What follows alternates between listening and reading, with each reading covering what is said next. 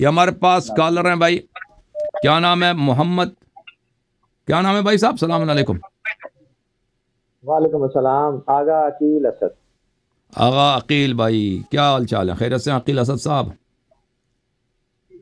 خیریت سے کرم اللہ پاک کا۔ سب سے پہلے۔ تو میرے پاس دو سوال ہیں۔ بہت ضروری جی۔ سوال ہیں آپ نے کہاں سے کال کیا آپ نے؟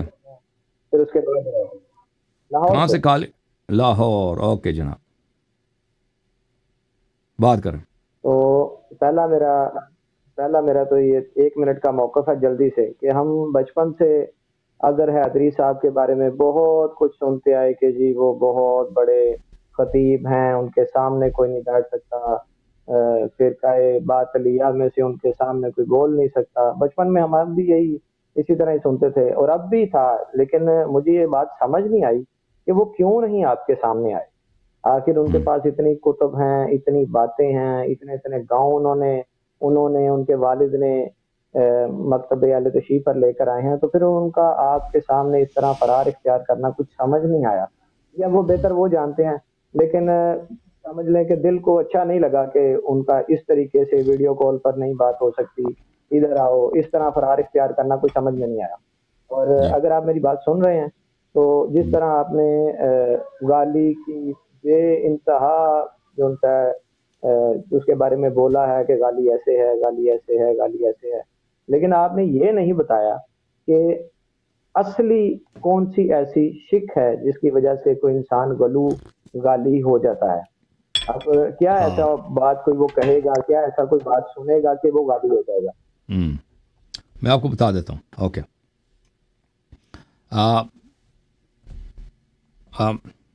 جو سب سے پہلے آپ نے جن حضرت کا اسم لیا ہے، انشاءاللہ وہ ہمارے بھائی ہیں، اللہ تعالیٰ ان کو توفیق دے۔ ہم ان کے دشمن نہیں ہیں، وہ جتنی وہ صحیح باتیں کہتے ہیں تو وہ تو ہم ان سے موافق ہیں، جو غلط باتیں کہتے ہیں تو انشاءاللہ تعالیٰ اللہ ان کی ہدایت کرے۔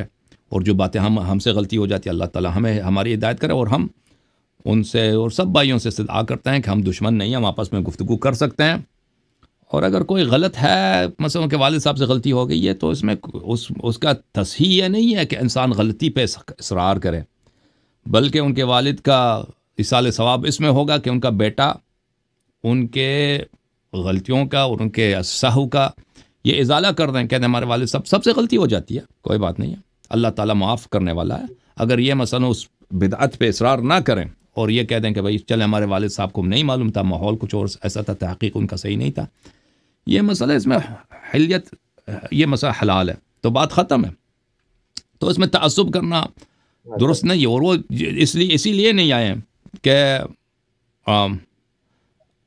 کہ ان ان کو بخوبی پتہ ہے، وہ بہانہ بنا رہے ہیں۔ جو جماعت عمریہ والے بھی کہتے ہیں نا، پاکستان جو ہم مناظر کریں گے۔ تو اس کی وجہ یہی ہے کہ وہ کہ وہ کیا بھائی کہ وہ گفتگو نہیں کرنا چاہتے وہ بھاگنے کی وہ کوشش ہوتی ہے مخالفین بھی یہ کرتے ہیں۔ اچھا غلو کیا ہوتا ہے میرے عزیز؟ غلو؟ جی ہاں وہ نہیں گفتگو نہیں کرنا چاہتے اس کی وجہ ہم سب کو معلوم۔ غلو کیا ہوتا ہے میرے عزیز؟ غلو یہ ہے کہ آپ اہل بیت علیہ السلام کو اللہ کہتے ہیں یہ غلو ہے۔ لیکن صرف یہ غلو نہیں ہے۔ غلو صرف یہ نہیں ہے غلو اور بھی ہیں۔ بہت سارے غلات تھے جو اہل بیت علیہ السلام کو اللہ نہیں کہتے تھے۔ بلکہ وہ وہ صفات ان کو دیتے تھے جو اہل بیت علیہ السلام نے یا اپنے سے نفی کیا ہے، یا اہل بیت علیہ السلام نے اپنے متعلق ان صفات کا اظہار نہیں کیا۔ تو دین کس چیز کا نام ہے؟ دین ہے اتباع اہل بیت علیہ السلام کا نام۔ کہ ہم اور اس بات میں میں نہیں سمجھتا کہ کوئی شیعہ میرا مخالف، جس نے یہ حدیث نہ بھی سنی ہو کوئی اس کا مخالفت کر سکتا ہے کہ بھائی اہل بیت علیہ السلام کے ہم نے اتباع کرنی ہے۔ جو فضائل انہوں نے اپنے لیے ثابت کیا ان پہ ہمارا ایمان ہونا چاہیے۔ جو انہوں نے نفی کیا، اس کو اس کو ہم نف نفی کرنا ہمارے لیے واجب ہے۔ اچھا۔ ملاحظہ فرمائیے کتاب ہے اصول اروامیہ میں سے کتاب عبداللہ ابن یحییٰ الکاہلی۔ اس میں، صفحہ نمبر ایک سو پچیس میں حضرت امام جعفر صادق علیہ السلام فرماتے ہیں، لا لا تفضل على رسول اللہ صلی اللہ علیہ وآلہ احدا۔ حضرت رسول صلی اللہ علیہ وسلم پہ کسی کو تفضیل نہ کرو، کیونکہ غلات میں سے ایک طائفہ یہی ہے کہ وہ اب بھی ہیں۔ کہتے ہیں امیر المؤمنین علی علیہ السلام سب سے افضل ہیں۔ نستجیر باللہ، پیغمبر سے بھی افضل ہیں۔ اچھا۔ ولا تفرطوا ولا تغلوا ولا تقولوا۔ تفری، کوتاہی نہ کرو یعنی تقصیر نہ کرو۔ تقصیر یہ ہے کہ اہل بیت علیہ السلام کا اگر کوئی حق بنتا ہے، کوئی فضیلت ہے، اس کو اقرار کرو، یا اگر ان کا کوئی واجب حق ہے، اس کو بجا لاؤ۔ ان کی نصرت کرنا، ان کی ان کی دین کا احیاء کرنا، یہ سب اگر کوئی نہیں کرتا تو وہ مقصر ہے۔ تقصیر کا صرف مقصد یہ نہیں ہے۔ دیکھیں کہ عقیدے میں انسان مقصر ہو۔ عقیدے میں انسان اہل بیت علیہ السلام کو ان کے مرتبے سے کم تر سمجھے۔ تقصیر عمل میں بھی ہے۔ یعنی وہ کوتاہی کرنا، جس طرح ایک شیعہ کو خادم ہونا چاہیے، اس طرح خدمت نہیں کر رہا اہل بیت علیہ السلام کے مقاصد کا۔ ان کے مذہب کے احیاء کا، ان کی نصرت کا۔ تو یہ تقصیر۔ بہرحال کوتاہی نہ کرو اور غلو نہ کرو۔ اچھا غلو، ولا تقول فینا مالا نقول مالا نقول۔ اور ہاں اور ہم، ہمارے، ہم سے وہ صفات نسبت نہ دو۔ مثلا کہ ایسے فضائل تم بنا دو یا ایسے معجزات تم نسبت دے دو جو انہوں نے خود نسبت نہیں دیا۔ بہرحال، آپ کسی بھی شخص سے ایسی بات انہوں انہوں نے خود نہیں کہا، آپ ان سے نسبت دے دیں، یہ تو جھوٹ ہے ہی ہے۔ اور دین کے معاملے میں تو زیادہ حساس ہے۔ احبون حبا مختصدا ہم سے محبت کرو درمیانہ درجے میں۔ مختصد سے کیا اتنا اتنی محبت نہ کرو کہ محبت کرتے کرتے تم خود ہی کافر بن جاؤ۔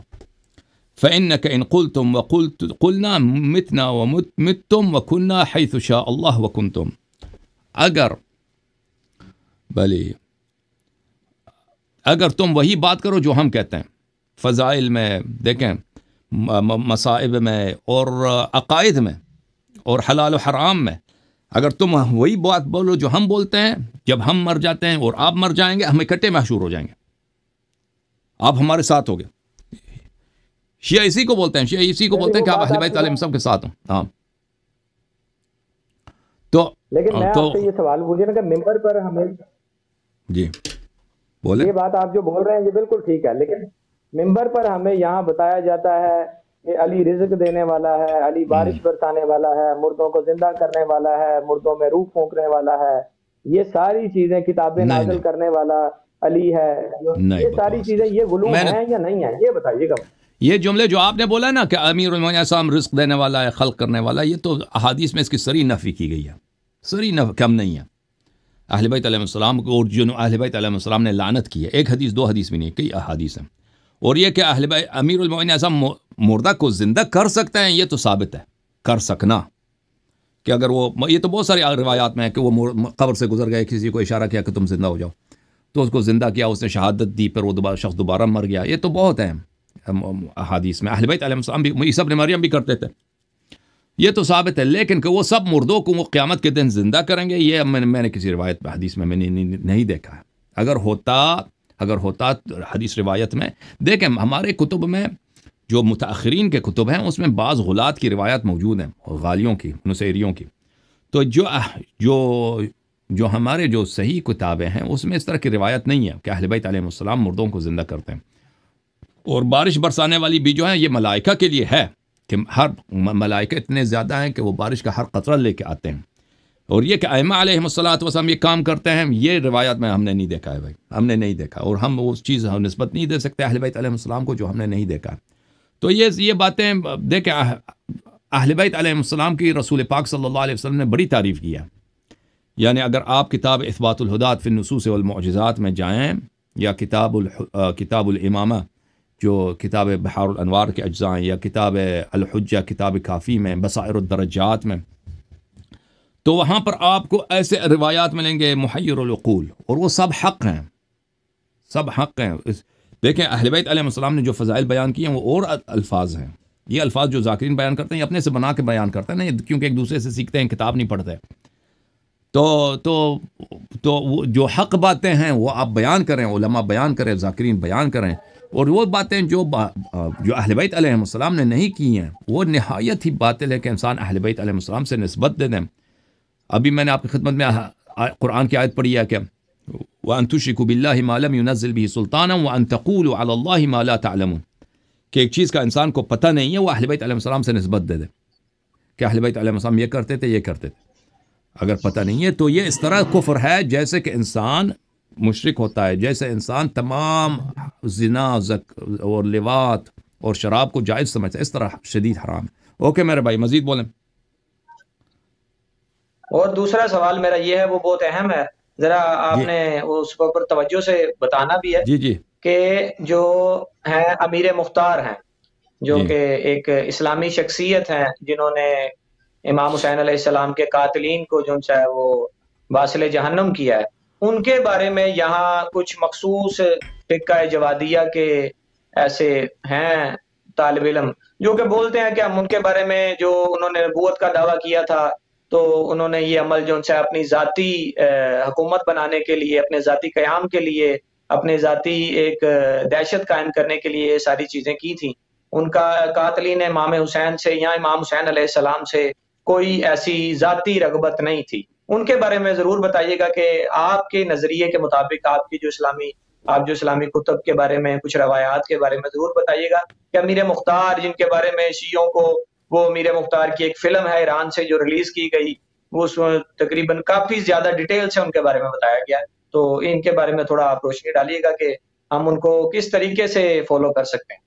یعنی کیا ان کا اسلامک، یہ جو قاتلین امام حسین ہیں، ان کو باصل جہنم کرنا یہ ایک نیک عمل ہے، وہ تو واجب ہے کہ جنہوں نے امام حسین علیہ السلام کو قتل کیا تھا، انہیں باصل جہنم کیا، تو بہت اچھی بات جی جی بالکل بالکل۔ دیکھیں۔ کیا نبوت کا دعویٰ بھی جھوٹی ہے؟ نبوت کا دعویٰ مخالفین کے کتب میں وہ شیعوں کے کتب میں نہیں ہے۔ نبوت کا دعویٰ۔ یعنی ہم نے شیعوں کے کتب میں مختار کے متعلق جو ریسرچ کیا ہے وہ ہم نے بہت ریسرچ کیا ہے وہ ہم نے نہیں دیکھا کہ ان یہ مخالفین نے ان کے متعلق نقل کیا کہ اس نے نبوت کا ادعا کیا ہے۔ مختار کے متعلق جو ہم نے اہل بیت علیہ السلام کی احادیث دیکھی ہیں جو شیعہ کتب میں ہے کہ وہ اس کے کام اچھے تھے۔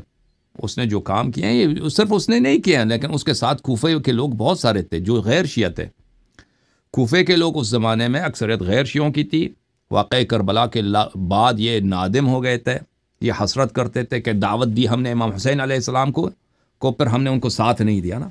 اور پھر بلکہ ہم ان کے یزید کے فوج میں شامل ہو گئے۔ ان کو زبردستی، اکثر لوگوں کو زبردستی شامل کیا تھا عبید ابن زیاد نے۔ دمکی دے کر۔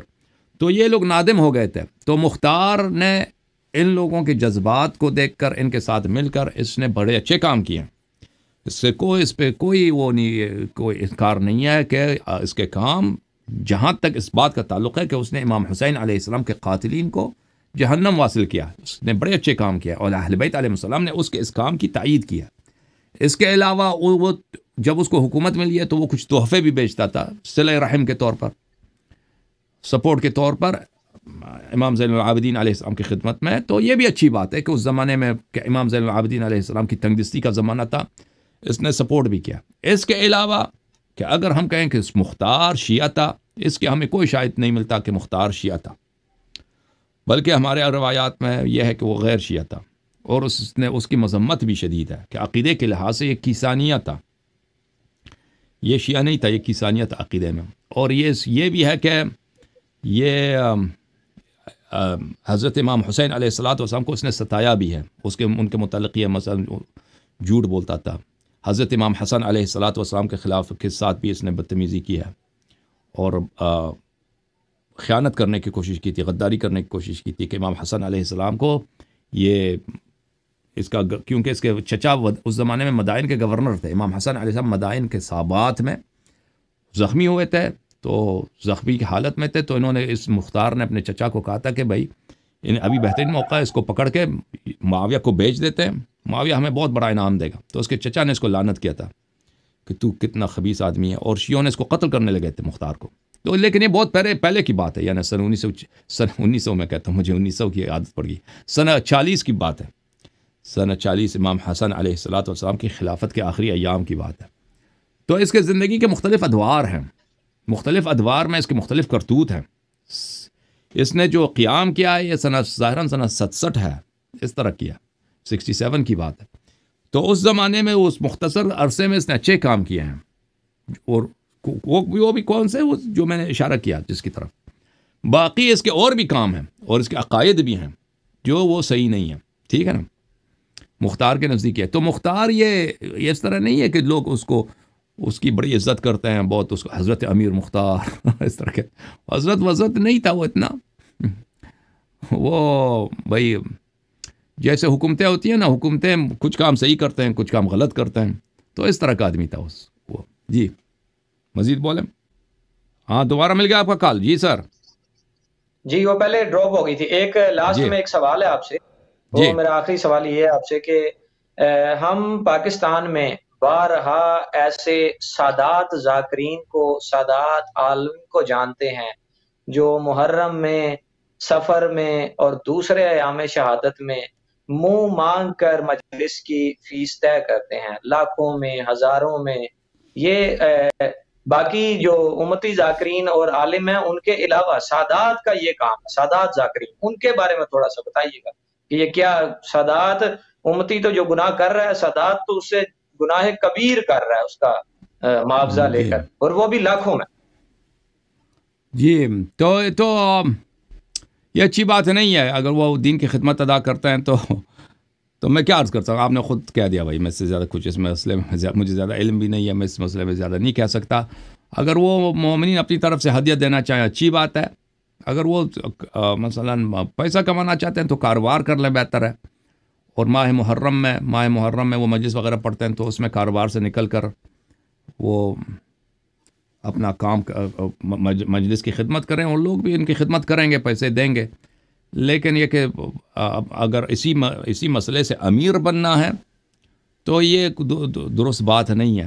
آپ، وہ ان کو نہیں چاہیے کہ وہ طے کر لیں، وہ اس- اس بات کا انتظار کر لیں کہ مومنین خود دیں انشاءاللہ۔ اور مومنین بڑے انشاءاللہ اس معاملے میں تو وہ ایک دوسرے سے آگے بڑھتے ہیں اس مسئلے میں۔ وہ انشاءاللہ تبارک جی، و تعالیٰ کوئی کو- کوتاہی نہیں کریں گے ان کی خدمت میں۔ بہت مہربانی آپ کی میرے بھائی۔ اللہ آپ کو عزت دے۔ تھینک یو سر اللہ اللہ آپ کو عزت دے۔ Thank you